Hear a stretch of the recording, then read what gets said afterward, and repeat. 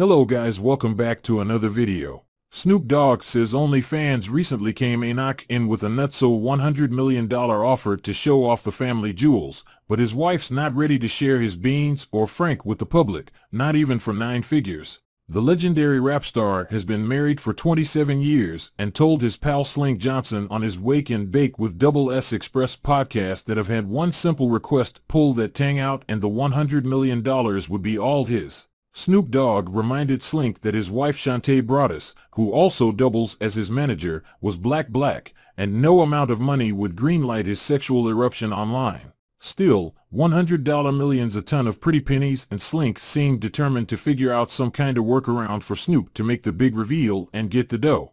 But, as of now, Snoop and Shante are clear, you won't be seeing these.